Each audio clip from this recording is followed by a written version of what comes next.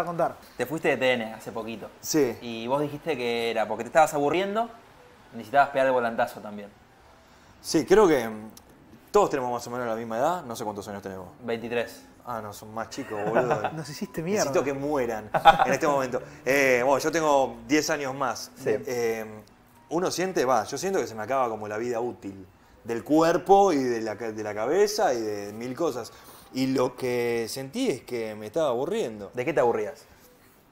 De como de las estructuras viejas. eh, hay veces que los jefes son cualquiera, pero porque hay 1.400 quilombos, somos 1.400 empleados. Entonces, eh, hay veces que hay que correrse un costado. Si vos ves que te aburrís, yo la verdad que hoy tomé la decisión, tomo decisiones, pero las tomo y no pienso.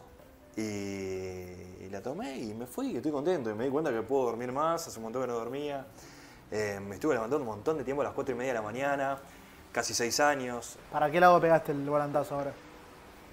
Y lo bueno pegué el volantazo y cuando pegás el volantazo podés chocar o se te vuelca el auto, siempre pasa eso. Sí, sí. Eh, y siento que no, todavía el auto no lo, no lo volqué, seguimos derecho por la Panamericana, pero siento que el auto, ponele, se paró un toque y estoy mirando a ver qué pasa al costado, qué cosas quiero hacer yo, a dónde quiero viajar, a dónde quiero seguir viaje. Creo que mm, va por ahí. Creo que nos está pasando a todos igual, ¿viste? Que hay mucha gente que se quiere ir afuera, hay mucha gente que no sabe